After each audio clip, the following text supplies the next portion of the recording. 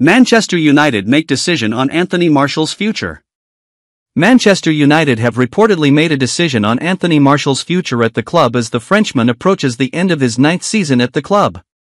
As the case has been for most of his stay at the club, Martial's 2023-24 season has been plagued by injury and there is no guarantee that he will be fit again before the end of the season.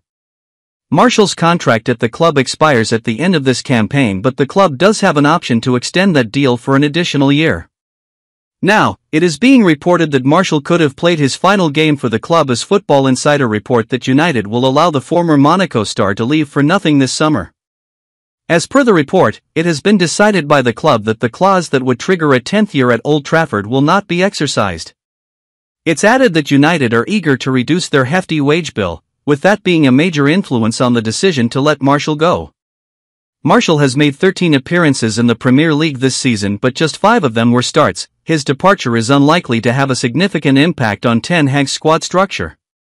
Rasmus Højlund's introduction at the start of the season almost certainly ended his hopes of returning to the fold permanently there and then. Højlund's strides recently have further cemented his place as the side's undisputed number one in attack.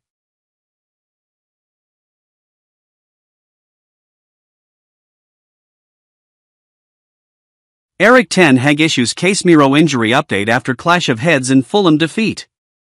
Casemiro was back in the side for this weekend's visit of Fulham at Old Trafford, having been withdrawn at halftime at Luton Town last week. The Brazil international was, however, withdrawn early again after an unfortunate clash of heads with Fulham midfielder Harrison Reed. Casemiro wanted to continue but was taken off the biomedical team and speaking after the game, Erik Ten Hag provided an update on the 32-year-old's health status. I don't know if it's concussion but it's definitely head-to-head, Ten Hag is quoted as saying by the official Manchester United website. I actually don't know the issue, but he had to come off. He had to come off so we have to speak with the doctor and the medical team to see how he's doing. He couldn't continue the game. We have all seen that. We had to take him off and, hopefully, he's better by tomorrow. Thankfully, head injuries are under the microscope and are treated with added care compared to in the past and Casemiro will be given the time to recover fully. In the update posted by the club, it is stated that Casemiro will be assessed to determine the extent of the issue but for now, he joins United's long list of injury absentees. In the last week, Luke Shaw and Rasmus Højlund have all reserved their seats in the treatment room. Mason Mount, Tyrell Malacia, Aaron Wan-Bissaka, Lisandro Martinez and Anthony Martial are also on the sidelines.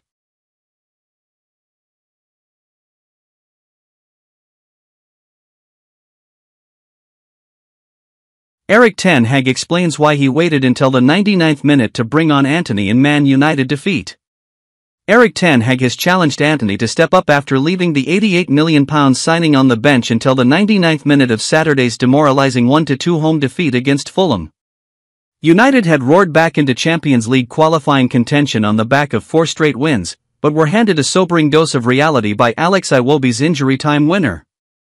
Despite the absence of Rasmus Højlund due to injury, Ten Hag found no room for the most expensive recruit of his reign in his starting 11, instead handing a full Premier League debut to Omari Forson. The teenager's afternoon was brought to an end after 52 largely underwhelming minutes, but even then Ten Hag resisted the temptation to introduce Antony to the fray. Indeed, it wasn't until Iwobi put the visitors back in front that Ten Hag saw fit to hand Antony a chance and what a desperate last throw of the dice. It was nothing to do with fitness, Ten Hag said when asked why he left it so late to bring on the Brazilian. He is fit but we have many options on the right side where we lack in other positions due to injuries. The foreman Antony we all have seen and he has to step up. I see it in training but also other Omari and Amad Diallo and Garnacho deserve to play. We struggled with their influence and their impact on our left side. But we reacted well and how to deal with it, how to step up from the back and once we had that we got more from the game and took control to create the chances, Ten Hag added following a reslut that leaves United's top four hopes in tatters. With the squad we had today we should have won this game. Both halves were slow starts and we should be ready from the first whistle. That's a point of criticism but the team showed big character in both halves.